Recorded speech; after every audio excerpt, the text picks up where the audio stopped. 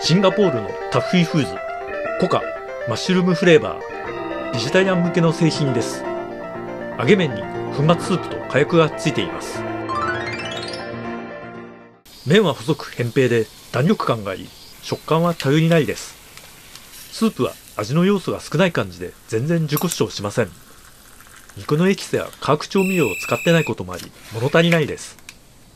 人参はたくさん入っていますが椎茸は香りがなく麺と同じような柔らかさのため存在が希薄です。お湯は少なめに待ち時間も短めにして食べた方がいいでしょう。